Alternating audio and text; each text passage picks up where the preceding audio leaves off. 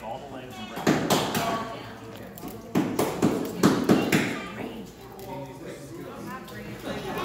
Not yet, you don't. Here we go. So the claws, we're gonna, we're gonna keep those, because we're gonna crack those and eat those later. Right? Sometimes, sometimes a little bit comes off on the end of the claw and you can just kind of. Eat it, yeah, just did.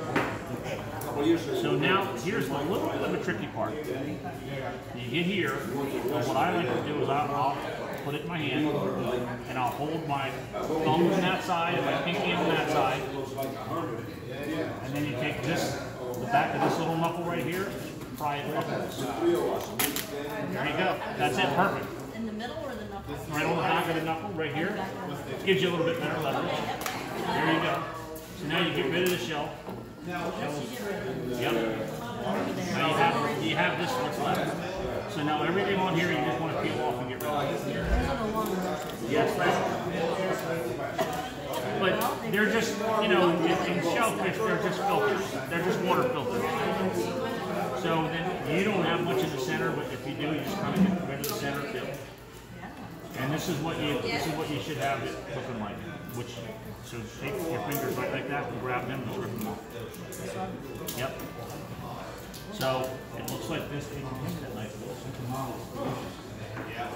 So this is what I do. I go like this and I'll take just take one of these little knives and cut it about halfway down. You don't have to cut the whole thing because it's hard to get through the shell, but that makes it easy. Guess what? You split it in half.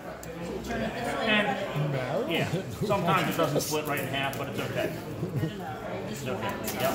There you go. Guess who drove to the Give it a crack. So now you put one half down, you go, you work with one half at a time. It's our expert.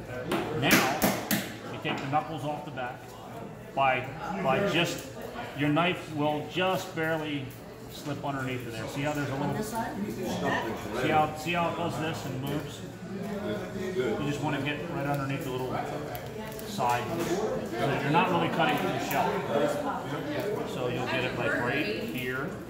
You'll put the knife like right through there. See how, see how they move? You want to get the part where it moves. There you go. When you pop it, then you just pick it off. Now that's good. What comes out on that is, is what you're looking for. So you